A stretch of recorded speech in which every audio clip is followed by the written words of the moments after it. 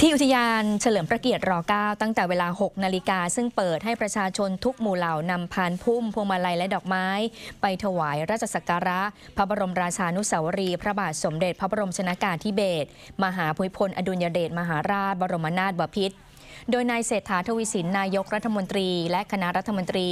ร่วมวางพานพุ่ม เนื่องในวันคล้ายวันพระบรมราชสมภพวันที่ 5 ธันวาคม 2566 ประชาชนต่างดีใจที่ได้มาร่วมถวายสักการะ และตั้งใจจะน้อมนำหลักคำสอนของพระองค์นั้น มาปรับใช้ในชีวิตค่ะ นอกจากนั้นยังมีหน่วยงานภาครัฐเอกชน ท่านอ้นวัชเรศรวิวัชระวงศ์ตลอดจนประชาชนเดินทางมาร่วมน้อมลำลึกในพระมหากรุณาธิคุณ ซึ่งตลอดรัชสมัยของพระองค์ ทรงปฏิบัติพระราชกรณียกิจเพื่อประโยชน์ของประเทศไทย และประชาชนไทยค่ะ ประชาชนต่างดีใจที่ได้มาร่วมถวายสักการะ และตั้งใจจะน้อมนำหลักคำสอนของพระองค์มาปรับใช้ในชีวิตนะคะ ก็ทำงานมาตลอดชีวิตนี่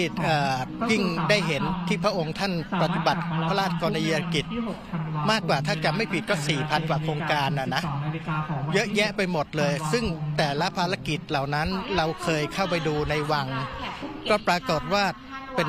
จุดที่ทดสอบทดลองย่อยๆ แล้วก็ขยายผล แล้วก็วาดหวังว่ามันเมื่อมันทำได้จริงประชาชนได้ได้น้อมนำไปทำต่อไป เป็นความรู้สึกที่ว่าปราบปลื้มมากๆทำให้รู้สึกว่าเออพ่อหลวงก็รักแผ่นดิน รักทั้งประชาชนทุกๆคนค่ะ ตรงนี้แหละค่ะทำให้เรารัก ในส่วนของเราที่เป็นประชาชนคนหนึ่ง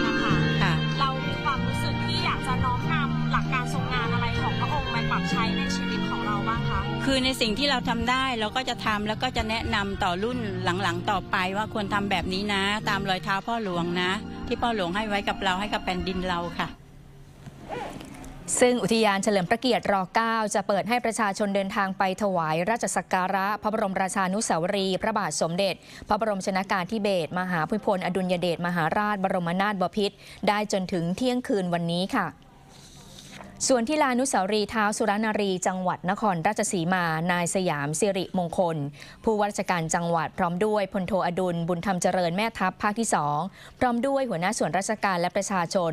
รวมพิธีทำบุญตักบาตรข้าวสารอาหารแห้ง แด่พระสงฆ์ 89 รูป ถวายเป็นพระราชกุศล แด่ในหลวงรัชกาลที่ 9 เพื่อน้อมรำลึกในพระมหากรุณาธิคุณ ถวายเป็นพระราชกุศล และเพื่อความเป็นสิริมงคลต่อตนเองและครอบครัว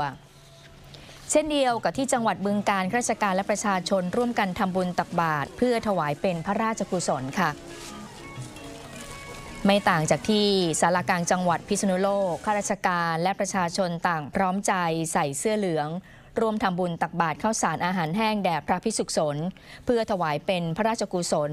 และลำลึกถึงพระมหากรุณาธิคุณ